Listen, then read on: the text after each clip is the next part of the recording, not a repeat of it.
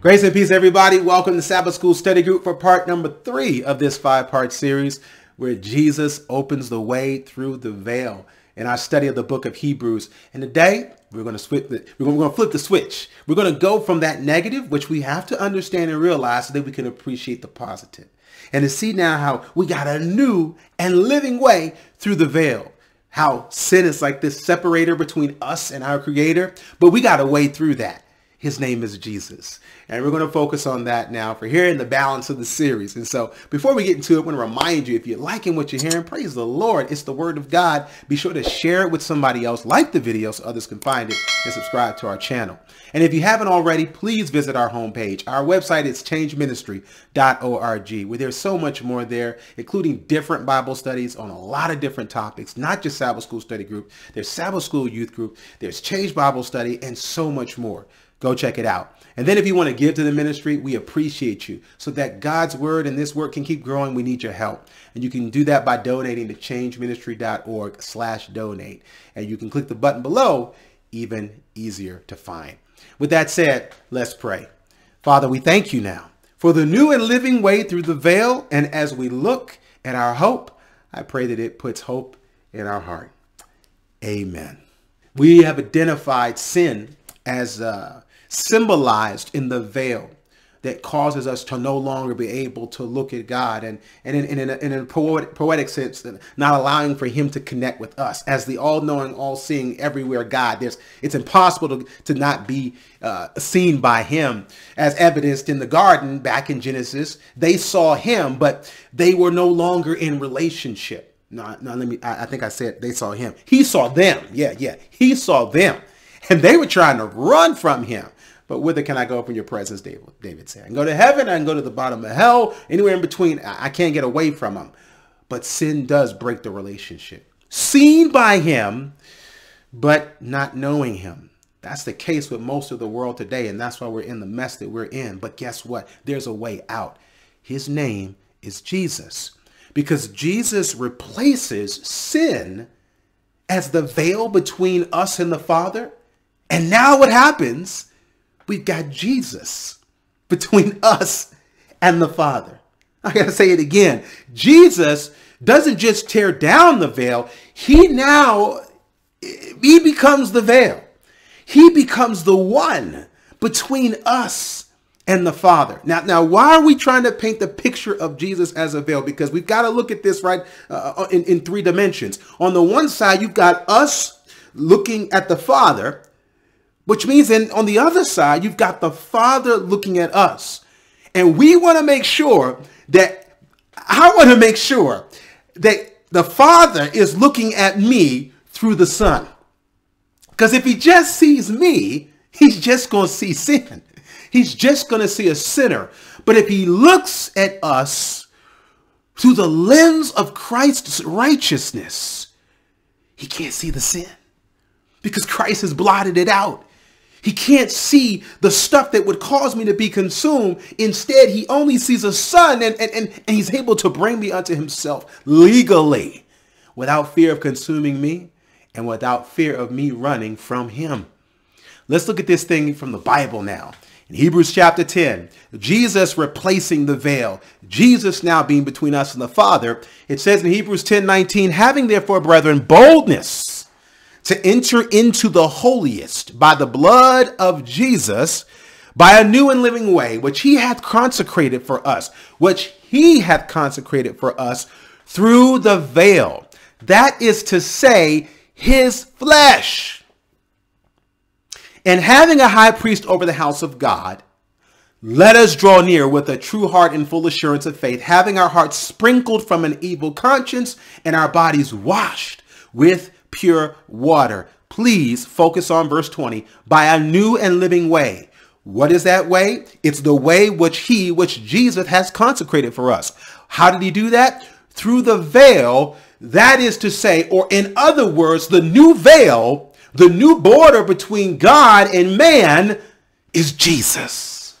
it's not a curtain. It's not a fabric wall, but it is the way, the truth, and the life himself. The rock now. This, these, these, all these words used to analogize the role that Christ plays with us. Here, Hebrews 10 is telling us he's a veil too. He's the way through from us where we are now to the holiest. That is to say, his flesh. I, I, I never thought of it like this until I, the Spirit started to speak. And Jesus was speaking through this verse and he said, whoa, I'm the veil. I'm the one and the way that you go through, Chris, to get to the Father. And that's why Paul says, now, church, we can come with boldness. In fact, let me not just not say church, anybody who comes in the name of Jesus can go boldly. I don't care who you are, because it's not about who you are, it's about who he is and where he is. And that's why you can get there too.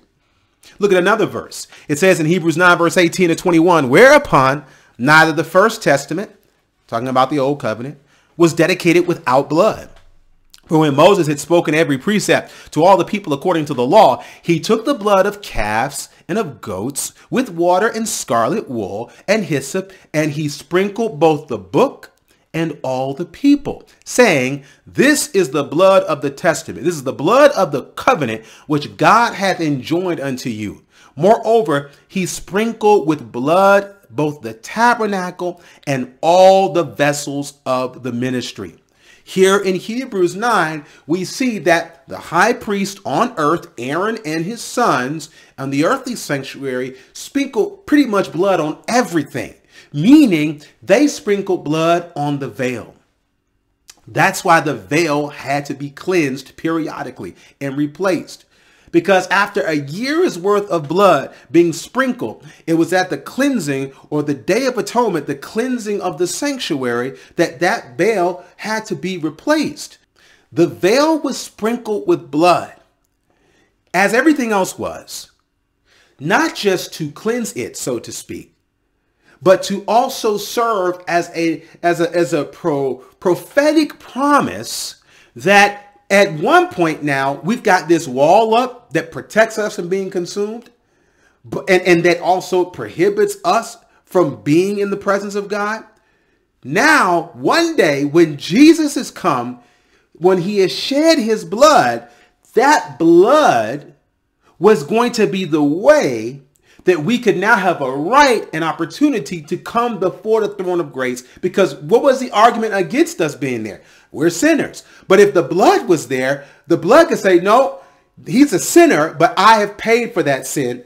Here I am, this wall of blood that now we're able to go through. But it's not a wall of blood, it's Jesus. He is the veil now between us and the Father. And it's through him now that we have access to the King. One more. It says in Hebrews chapter 6, 19 through 20, which hope we have as an anchor of the soul, both sure and steadfast, and which enter into that within the veil, whether the forerunner is for us entered, even Jesus, made in high priest forever after the order of Melchizedek. Again, here we see the biblical evidence of who and how we're afforded to be in the presence of God. No longer is there a veil of separation, but now we've got a new and living way. And he is like a living veil. The veil that covers up all the stuff that needs to be covered, while at the same time giving me full access, full clearance, security clearance to be before our Heavenly Father. You've got top secret security clearance through Jesus Christ. How dare we not use that to our advantage? How dare we not go to God and seek his counsel when we've got top, top secret security clearance? How dare we think that he is not wanting to share his mind with us when he's given us top secret security clearance through a new and living way, even the living veil. And he's wide open. That's why when Jesus was crucified, he was crucified with his arms wide open. Because while he is the veil through which we now go to receive peace and have relationship with God our Father, it's open to all. So at this point now, the choice is yours. I pray we choose I pray that we like, share, and give this video to someone else to encourage them. But ultimately, we believe we got a new and better way.